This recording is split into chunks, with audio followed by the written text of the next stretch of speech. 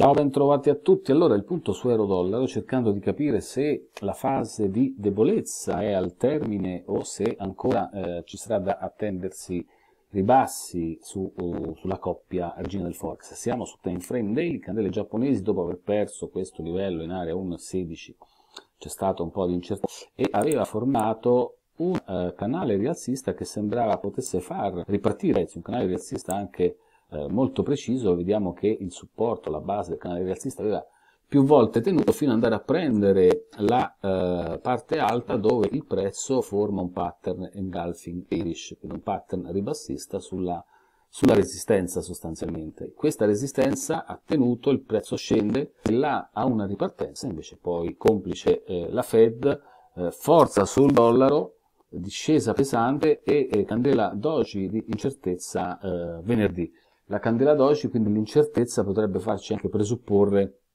una possibile ripartenza, ma da analisi tecnica, secondo me chiaramente, eh, non credo sia finita la, uh, la, discesa e potrebbe arrivare a un livello che peraltro è un livello molto preciso. Non credo sia finita perché semplicemente se noi andiamo a proiettare la prima, eh, il là alla, alla partenza del canale rialzista di breve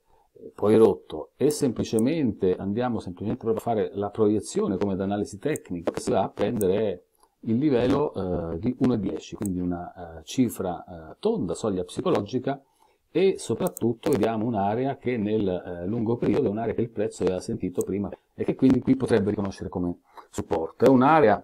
non lontana, visto che adesso siamo a 1,1145, 1,1150, prendibile e in, eh, in questo caso, in questo livello 1,10 dovessimo avere un pattern rialzista senza anticipare nulla, senza fretta, solamente in presenza di un pattern rialzista eh, andremo in ottica longa anche di medio periodo. Dico senza anticipare nulla perché se anche 1,10